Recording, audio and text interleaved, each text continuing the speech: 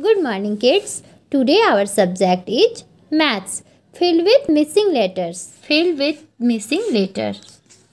These are the number names 6 to 10. You have to complete the words by filling the correct letters in the given space. Okay? So let's start.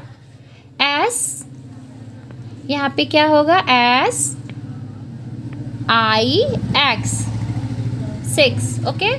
S E V E N. Seven. E I G H T. Eight. And I N E. Nine. T E N. Ten. S I X. Six. S E V E N. Seven E I G H T eight N I N E nine T E N ten.